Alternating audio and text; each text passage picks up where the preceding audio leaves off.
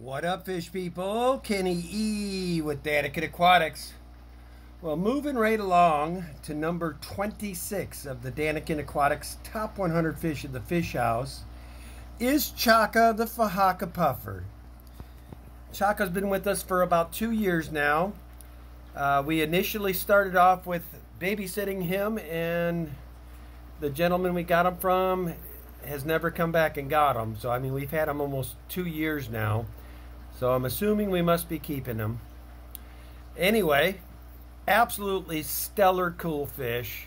I absolutely love this guy. The only thing I will say about these guys is you may pay attention when you're doing your tank maintenance. I wasn't that familiar with puffer fish yet, and when I was doing my tank maintenance, he came and took a rather large chunk out of my elbow.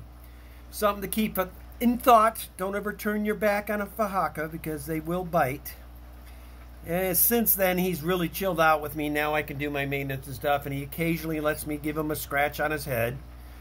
But uh, I don't mess with him too much. I mean, I have a pretty vivid memory of when he decided to take a big chunk of my flesh out.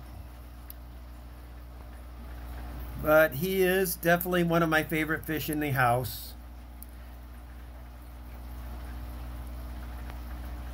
Relatively easy to take take care of. Just make sure you give them clean, clean, clean water and uh, good quality food. He doesn't take any of the pellets or anything. I have heard of people's puffers that do, but unfortunately he does not. He either gets uh, snails and then uh, he loves loves the krill. And occasionally when I get him, night crawlers he'll eat, and then uh, he does other things.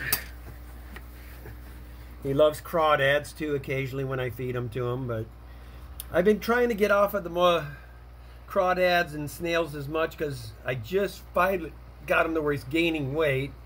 He had a pretty good case of worms when I got him. And I wasn't aware of the problem with that with the puffers. And uh, anyway, Danny and I nursed him back to health. The gentleman loved him that had him. It's just unfortunately he came across some hard times and He's been with us for a while now, but a great, great fish. I'll have to go and he's playing hide and seek now, so we'll go around to the other side. He likes to play hide and seek occasionally. We'll get a little bit closer to him. But as you can see, the fine lines that he has is just amazing. But these are from, they're pretty well distributed in Africa. It's west West Africa, East Africa, and then nor Northeast Africa. Uh, Nile, Chad. Uh, there's a few other countries in there. So they're pretty well dispersed. They are a true freshwater puffer, so you don't need to keep them in brackish. And these do get quite large, guys. These get up to 16 inches in length. Uh, he's about a good, oh, eight to 9 now, probably. And he does not stay put very often in one spot. So I'm trying to keep us in front of him because he likes to move back and forth on me. He does not like the camera either, usually. But if you have not kept one, I would recommend one. Definitely have at least 135 gallon. Some with some length because they do like to move back and forth. He also spends a lot of time, you want to have little structures like I've set up in here. He does like to hang under rocks and stuff when he's not cruising. And we have uh, zebra, excuse me, giant danios in here with them for ditherfish. They seem to be quick enough where he's not able to latch into them. Now, he has in the past actually taken out some of these guys. I found uh, half fish in here before where he's actually gotten a hold of them. I don't know if he's doing it at night when they're asleep or what he's doing.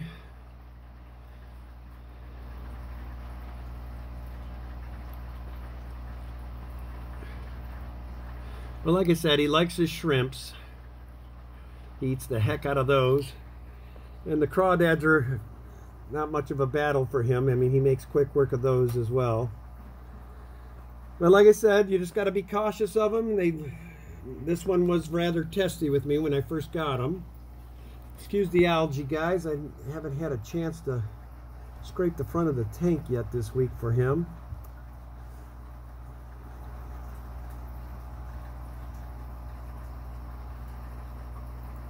But I mean, these guys are just amazing. They don't get quite as big as the Mbu puffers, but they still have about as good a personality. They're fun. And you do want to make sure to feed them snails and whatnot occasionally so they have something to chew up. I am going to probably start feeding him some clams on the half shell now. He, has, he got himself a big old piece of shrimp there.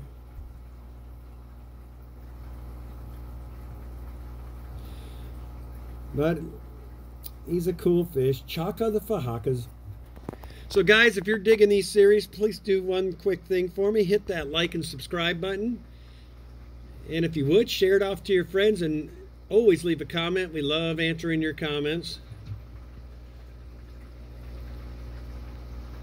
But this is, I think, I'm trying to remember if we had any other fish that we had already named on this top. I don't think we have yet, so I think this was the first named fish that you all got to see.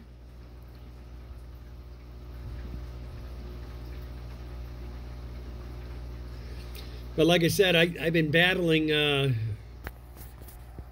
parasites with him when I, about the last six months to a year or so, I've been really working on it, trying to watch and not give him as much snails for diet.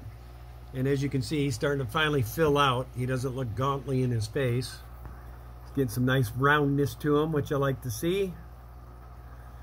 But I am uh, hooked on these puffer fish now. I absolutely love this guy. You can't ask for a more personable fish. They will come up and hang out by you. He's being shy right now because he doesn't like the camera.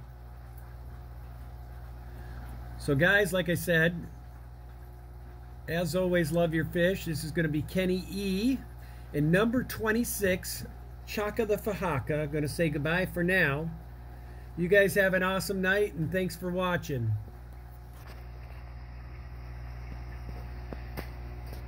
There he is. Say goodbye, Chaka. Later, guys.